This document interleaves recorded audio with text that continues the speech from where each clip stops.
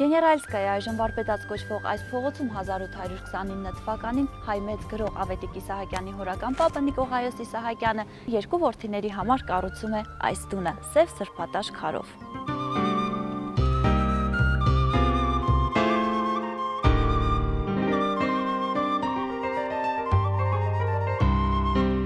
Տան այս հատվածը, որտեղ այժմ հուշատունն է, պատկանել է Իսահակյանի հորը, մյուս հատվածը հորեղբորը։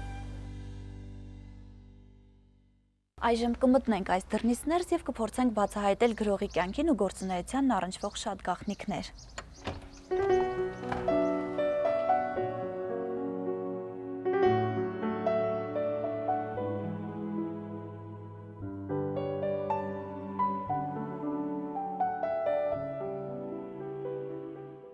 տան Նիսահակյանն ապրել է մինչև 36 տարեկանը։ Մեծ բանաստեղծի 100-ամյակի առիթով նրա հայրական տունը դառնում է հուշատուն թանգարան։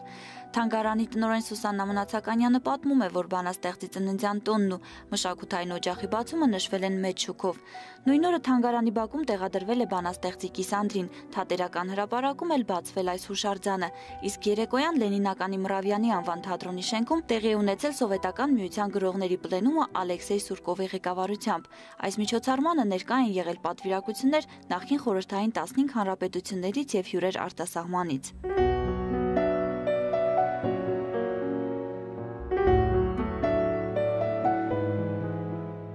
Թանգարանն իր ինքնատիպությամբ եւ անցածուղով դարձել է Հայաստանի լավագույն թանգարաններից մեկը։ Այն հյուրընկալել է բազմաթիվ նշանավոր մարդկանց։ Այստեղ են եղել Մարշալ Բաղրամյանը, Վիլյամ Սարոյանը, Ելենա Օբրազցովան, Վազգեն Արաչինը։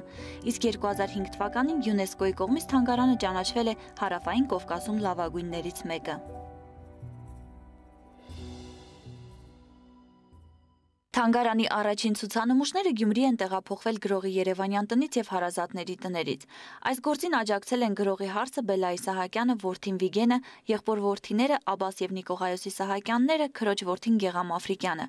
Թանգարանն անընդհատ զբաղվել է հավաքչական աշխատանքներով, ձեռք բերել նոր ցուցանմուշներ, սակայն մշակութային այս օջախի բնականon աշխատանքը խաթարվել է 88-ի երկրաշարժի պատճառով։ Շենքը կիսով չապավերվել էր, իսկ ցուցանմուշները տեղափոխվել էին Երևանի Չարենցի անվան գրականության եւ արվեստի թանգարան, որի մասնաճյուղն էր գրողի տուն թանգարանը։ 1995 թվականին թանգարանը հանձնվում է Գյումրիի քաղաքապետարանի ենթակայությանը։ Կառավարության եւ քաղաքապետարանի միջոցներով այն վերականգնվում եւ 2002 թվականին հոկտեմբերի 30-ին վերաբացվում։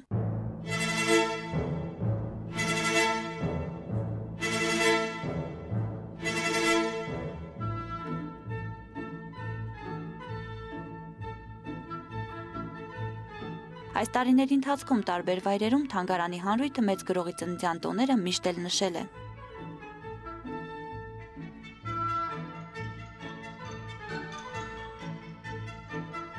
Ավետիք Իսահակյանի հուշատուն թանգարանի ցուցադրումը սկսվում է մեծ գրողի աշխատասենյակից։ Այստեղ Իսահակյանի շունչն է։ Բացի այն, որ այս տանն ապրել եւ ստեղծագործել է հայ մեծ բանաստեղծը, թանգարանում տեղադրված են հենց գրողին պատկանող իրերը։ Սա այն աշխատասեղանն է, որի շուրջ Իսահակյանը գրել է նշանավոր ու սիրված շատ ստեղծագործություններ։ Գրել է իր առաջին գիրքը Երկեր ու վերքեր ժողովածուն, Ալագյազի մանիներ շարքը, 1909 թվականին աշխատել է Աբուլ Ալա Մահարին պոեմի վրա։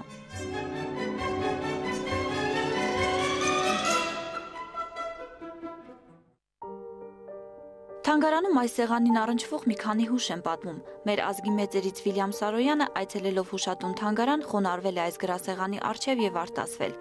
Իսկ Ռուսաստանի Դաշնությունից եկած այցելուներն այս սենյակում արտասանել են նրա ստեղծագործություններից, եւս խոնարհվել եւ համբուրել են մեծ գրողին պատկանող գրասեղանը։ Սեղանի վրա դրված են այն գրքերը, որոնք վարպետին հարազատ են եղել։ Մուրճամսագիրը, փորձհանդեսը, ախորյան թերթը անընդհատ եղել են գրողի ձեռքի տակ։ Աշխատասենյակում հենց Իսահակյանին պատկանող գրքերն են։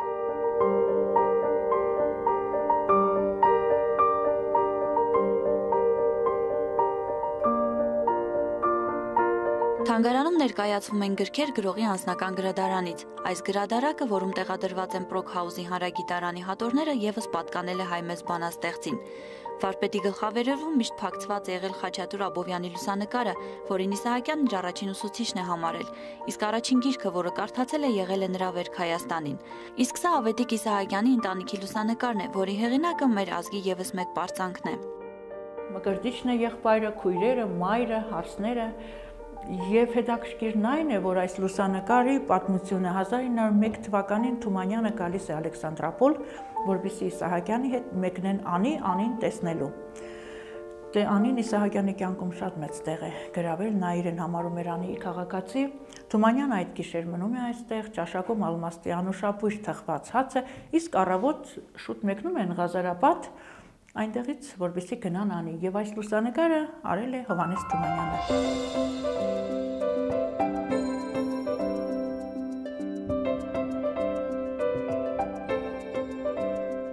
Սա Իսահակյանների հյուրասենյակն է։ Իդեպ նշենք, որ թանգարանի ցուցանմուշները տեղադրվել են ճիշտ այնպես, ինչպես եղել են ժամանակին Իսահակյանների տանը։ Վերջինները զբաղվել են ալրի առևտրով եւ ջրաղացներ են ունեցել, համարվել են հարուստ ընտանիք, իսկ նրանց տան իրերը գյումրեցի վարպետների ձեռքի աշխատանքներն են։ Թանգարանն արժեքավոր է ոչ միայն նրանով, որ այստեղ ապրել է հայ մեծ բանաստեղծը, այլև նրանով, որ այցելուները ծանոթանում են նաեւ 19-րդ դարի վերջին քառորդի գյումրվա կենցաղին, այդ ժամանակահատվածին բնորոշ իրերով եւ կահկարասիով։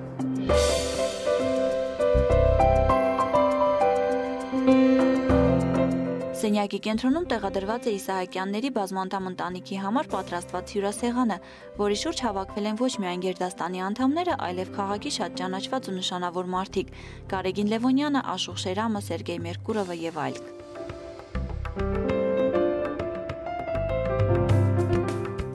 Այս սպասկապահարանն ու հայելին եւս Գյումրեցի վարպետների ձեռքի աշխատանքներն են։ Հետաքրքրական է այս ինքնաերը, ռուսական ինքնաերը, որ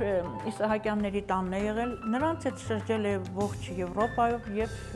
հանգրվաները նորից մեր թանգարանում։ Ինքնաերը նվիրել է թանգարանին նրա եղբոր որդի Նիկողայոս Ռուբենի Իսահակյանը։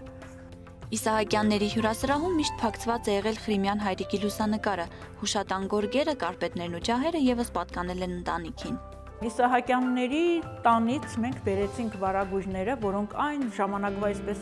նույն նախշերով մենք վերականգնեցինք, որտեղ նրանք արդեն այնքան հին էին եւ այսպես անգամ լվանալ հնարավոր չէր ձեռք տալ եւ մենք նույնատիպ պատվիրեցինք եւ այսպես արդեն սա էլ 33 տարի մեր թանգարանում պահվում են։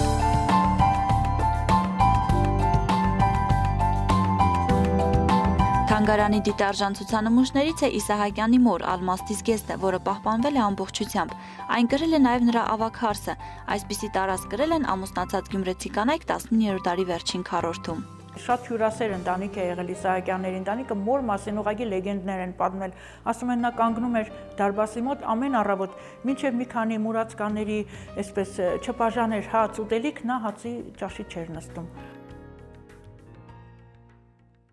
Բանաստեղծի ծնողների լուսանկարներն են այստեղ։ Իսահակյանի հայրն է Սահակ աղան եւ մայրը Ալմաստը, իսկ մորը Իսահակյանը պաշտամունքի չափ է սիրել, գիտենք իր ամբողջ մայրական թեմաներով գրված բանաստեղծություններ եւ քնքշորեն աբլա էր ասում, որ նշանակում է մեծ քույր։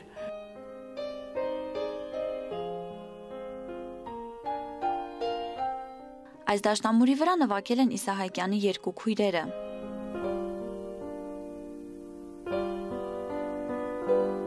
Հաջորդ սրահը ներկայացնում է Իսահակյանի ծնողների ննջարանը, որը եւս կահավորված է ճիշտ այնպես, ինչպես եղել է Իսահակյանների ժամանակ։ Այս ծածկոցներն ասեղնագործել է հենց բանաստեղծի մայրը։ Ննջասենյակի ամենանվիրական իրը այս փոքրիկ օրորոցն է, որտեղ օրորել են Իսահակյանների Գերդաստանի բոլոր երեխաներին, նաեւ ապագա մեծ բանաստեղծին։ Իսկ օրորոցը թանգարանին է նվիրել բանաստեղծի եղբորորդին Նիկողայոս Իսահակյանը։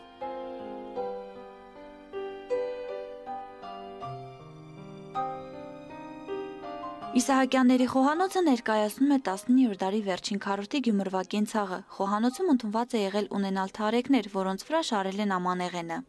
Խավանքը, փարխաճներ, ինչպես գյումրեցիներն են ասել, ջուր կատակացնելու համար, մուրաբա եփելու թասերը, այստեղ մուշուրբաները մեր ավանդական սկութեղներ, տարբեր նպատակների համար ապուրաման, ես ուզում եմ նշել այս իրերից ամենանվիրականը, այս սրճամանը, որից վարպետը շատ է սիրել սուրճ խմել եւ այն մակագրված է հարազատների կողմից իրենց սիրելի հորեղբոր Իսահակյանի թանգարանին։ Միշտ ինքը ասել է սրանով ինձ ғայֆա կտակ։ Այս մառանում Իսահակյանները պահել են իրենց բնամթերքը։ Այս կուժերում, կճուճներում, կուլաներում պահել են հալածյուղը, պանիրը, կաթի կուլաներ, թթխմորի աման, մածունի ամաններ, սուջի ծաշտուկները ծանր այն ժամանակվա, այստեղ սանդերքներ, որ բուրտ են գծել, ճախարակը, որ թելը մանում են, սա մեր հայկական ճախարակն է։ Իսկ այս սարքը գյումրեցիներն անվանել են Ջաֆարիկ, որի վրա պահել են հացը։ Այստեղ այն ավելի երկար է թարմ մնացել։ Բացի այդ, այս կերպ հացը պահպանել են կրծողներից։ Իսահակյանների թոնրատանը ընտանիքի կանայք ճաշ են եփել հաց թխել։ Այս ցուցասրահում պահպանվել են եւ ներկայացվում են խոհարարության համար անհրաժեշտ բոլոր իրերն ու պարագաները, որոնք շուրջ 200-ամյա պատմություն ունեն։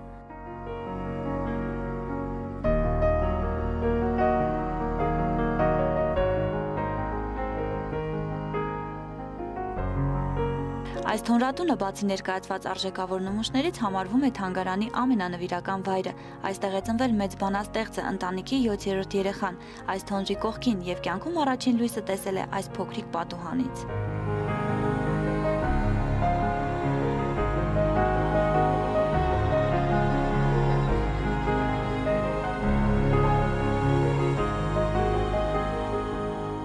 շատ դժվար է ծնվել, ասեմ, որ Իսահակյանը, որտեղ մայրը արդեն բավականին տարիք ուներ, 41 տարեկան եղել այդ ժամանակ,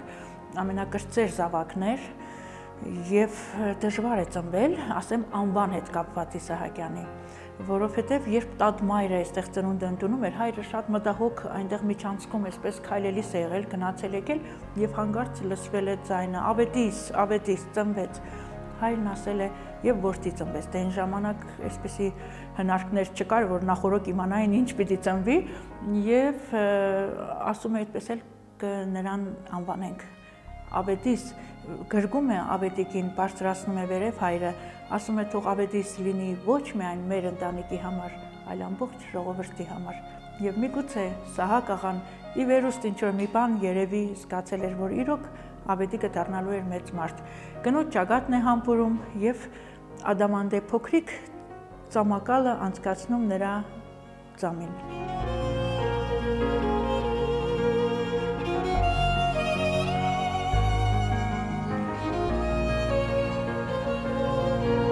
Պատմում են, որ վարպետը ձեռնափայտը ձեռքին շատ անգամ է եղել այս թոնրատանը եւ Թորին Ավիկին պատմել, որ Ալմաստը այստեղ իրեն կյանք է տվել։ Իսկ տուն թանգարանի բացման եւ վարպետի 130-ամյակի արդիվ այս թոնրում հաց է թխվել եւ բաժանվել թանգարանի հյուրերին։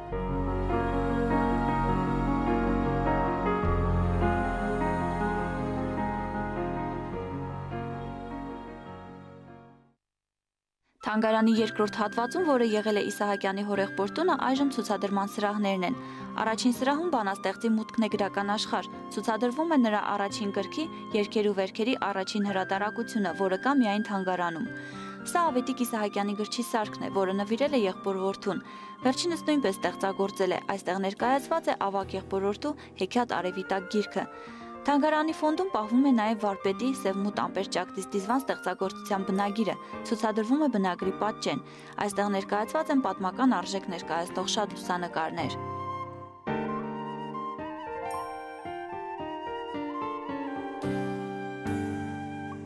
Ցուցանմուշների մեջ է նաև Շուշանիկ Մատակյանի գրողի սիրտը կոտրած եւ նոր բանաստեղծություններ ներշնչած, Ավետիք Իսահակյանի ստեղծագործությունների հերոսուհու անձնական իրերը, նաև գրքեր Իսահակյանի անձնական գրադարանից։ Երկրորդ սրահում ներկայացված է Անին, որը մեստեղ է գրավել բանաստեղծի կյանքում։ Վերջին սրահում Իսահակյանը ներկայանում է արդեն որպես մեծ գրող, մտածող ու փիլիսոփա։ Նրա ստեղծագործությունների հիման վրա 200-ից ավել երգեր են գրվել։ Օտարամայի ճամփեքի վրա Բինգյոլ, աղջիկա երգը եւ այլ ստեղծագործություններ այժմ էլ սիրված են ժողովրդի կողմից եւ հնչում են մշակութային տարբեր միջոցառումների ժամանակ։ Երկերի նոտաները ցուցադրվում են թանգարանում։ Լուսանկարներից մեկում Ավետիք Իսահակյանն է Մարտիրոս Սարյանի հետ։ Այս նկարն արտացոլում է երկու մեծերի բարեկամությունը, նրանք ծանոթացել են վաղ հասակում եւ ընդմիշտ բարեկամներ մնացել։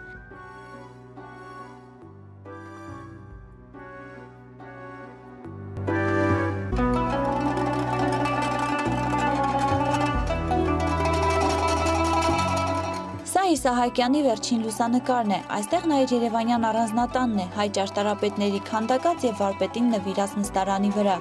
Լուսանկարվելուց մի քանի օր անց 1957 թվականի հոկտեմբերի 17-ին մահանում է հայ մեծ գրողը, մտածողն ու փիլիսոփան։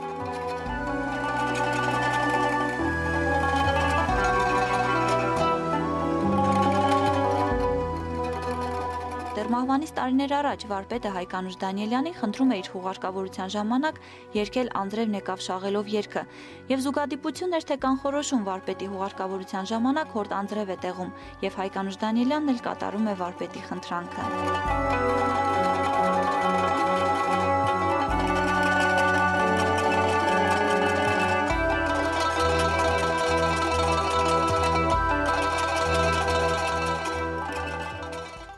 Իսահակյանի ստեղծագործությունները թարգմանվել են աշխարհի շատ լեզուներով եւ մեծ ճանաչում բերել նրան ու մեր ազգին, հարստացրել մեր մշակույթն ու երկարվեստը։ Իսահակյանի անցած փառավոր ուղին ամփոփվում է այս տան հարկի տակ։ Իսկ մենք պարզապես հպարտ եւ ուրախ ենք այն մեծ հնարավորության համար, որ կարող ենք վարպետի լուր ներկայությամբ շրջել նրա տան սենյակներով եւ մտովի զրուցելով մեծ գրողի հետ դիտել եւ տեսնել մեծագույն արժեքներ, հաղորդակցվել այն բացառիկ իրերի հետ, որոնք մեր ազգի թանկարժեք պատարիկներն են համարվում։